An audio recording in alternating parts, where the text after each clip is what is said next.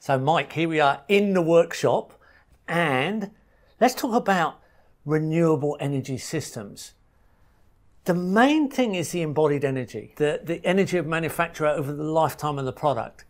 And lithium batteries, they're, they're being included everywhere because they're lightweight, but they don't last and you, you really don't have the same embodied energy. Then you've got the lead acid battery, the common battery in cars. Yep. But there, there is an old technology that has a long lifetime.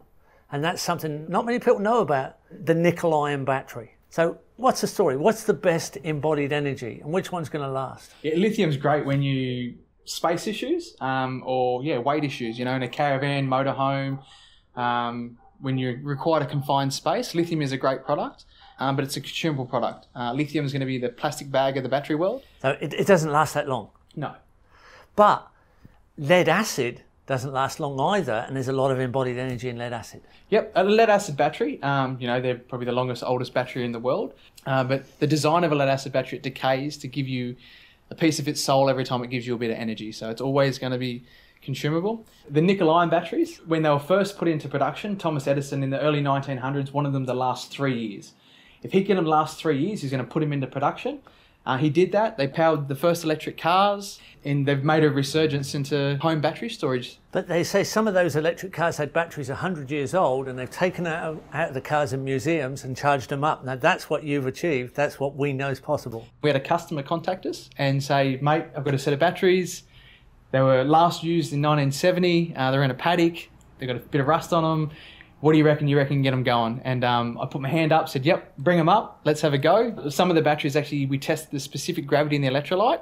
And the batteries that actually had still had electrolyte in them, they were like in perfect condition. It was like the electrolyte actually saved and made them preserve and last longer. But from an electrical point of view, they all worked electrically, so there was no problems with them. It was just the ones with the rust holes in the bottom we had issues with. So they've got a metal case, and the new one's got a high quality plastic case. Yep. And, and it's not acid. No, it's an alkaline based mix. So it's potassium hydroxide, KOH.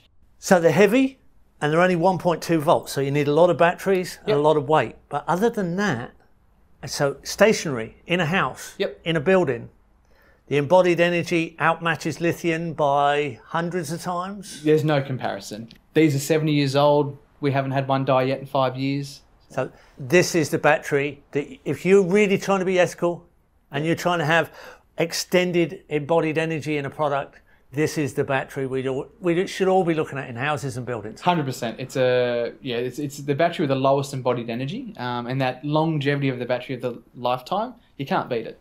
And there's no rare metals involved. It's nickel and it's iron and it's potassium hydroxide. Yep. And the electrolyte, when you finish with it, you can put it somewhere where you want to grow your pumpkins, because it's potash. Right. So- Grow good bananas. there you go. That's the best battery to go for if you want to be ethical and you want a long lasting product.